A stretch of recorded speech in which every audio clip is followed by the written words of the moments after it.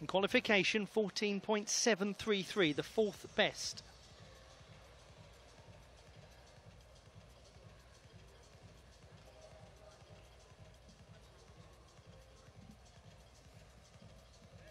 That's interesting, isn't it? Moving from a low position up into Maltese. Very unusual to see.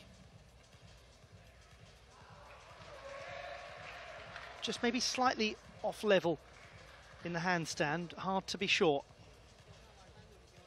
Sometimes the angle can be uh, deceptive. Flicker slightly in his handstand, but this is interesting work. Oh, does move up nicely into the planche. That's such a level shoulder line.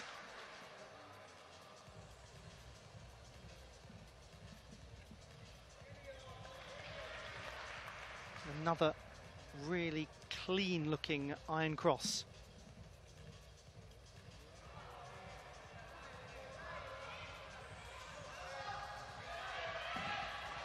You can always count upon this man to turn up for a final.